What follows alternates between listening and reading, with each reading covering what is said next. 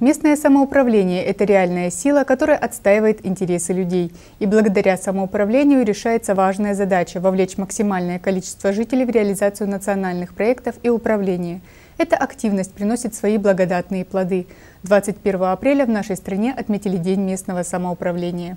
В этом мы еще раз убедились, побывав на торжественном мероприятии, которое было посвящено Дню местного самоуправления. Именно местному самоуправлению сегодня отводится ведущая роль в национальном проекте благоустройства городской среды. И в сельских поселениях Славянского района стараются использовать все возможности, которые открыл перед ними закон о местном самоуправлении. Я считаю, что этот закон один из основных э, принятых э, президентом России – который реально на места внизу, в поселениях, в ТОСах наших дал власть.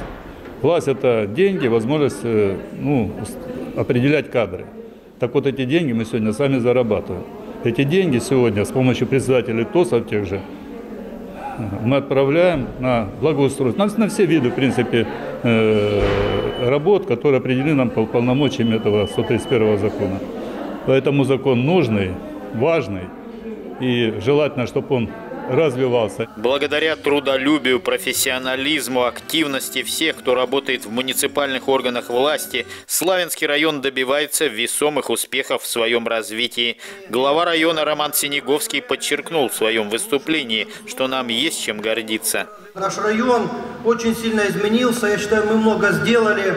Построили объекты социальной сферы, э, объекты спорта, здравоохранения, ремонтируются дороги, строятся тротуары, э, делается уличное освещение, э, благоустраиваются наши парки.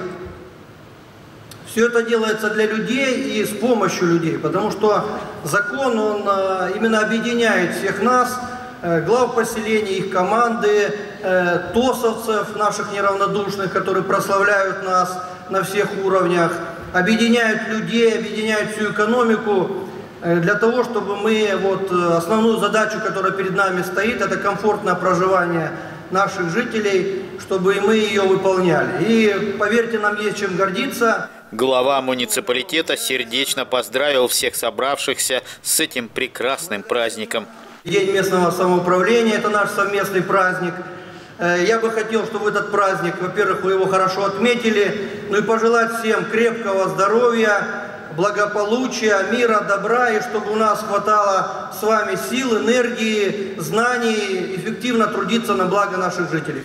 Затем на сцену для награждения были приглашены победители районного конкурса «Лучший орган территориального общественного самоуправления». Первое место было присвоено Татьяне Фертиковой из Славянского городского поселения. Я стараюсь э, очень тесно работать с жителями, э, выяснять все проблемы, с этими проблемами иду в администрацию, которая, конечно, по возможности помогает и очень часто ну, отзывается на вопросы граждан. Вот. Самое главное – тесный контакт.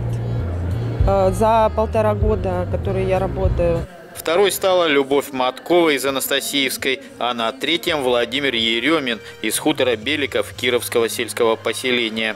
Все проблемы, которые необходимо решить людям, мы их решаем, причем в любое время – вечерне, днем. Решим, решим. Нет, так поможем, подскажем. И то все равно человеку как-то не так обидно и знает, что о нем какая-то есть забота и есть возможность решить те или иные проблемы. Общение с властью у нас оно постоянное, потому что сам я депутат избранный неоднократно. Вот. Но э, люди, конечно, когда растешь вместе с ними, вернее, они уже есть старшее поколение, есть меньше, но мы выходцы тех, э, допустим, с техником, а дальше институт заочно, но общение с ними вот в тех условиях, где были, видишь, кто на что способен, кому помочь. За профессионализм, эффективное и результативное выполнение должностных обязанностей и многолетний добросовестный труд благодарностью главы Славянского района были отмечены руководители, специалисты администрации поселений и учреждений образования, культуры и здравоохранения, а также других предприятий и организаций, внесших свой вклад в процветание муниципалитета. Лучшие славянские артисты порадовали собравшихся своим искусством.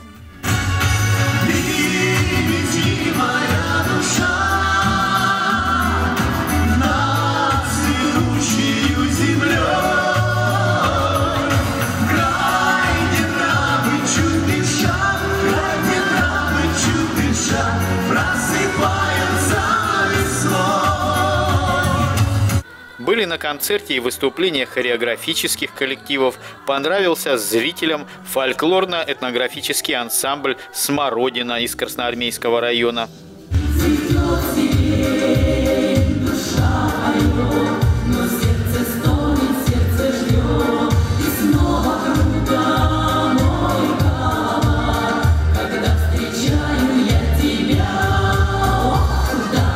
Завершилось мероприятие исполнением песни о Краснодарском крае, когда все в зале встали и аплодисментами поддерживали выступление народного ансамбля «Самородок».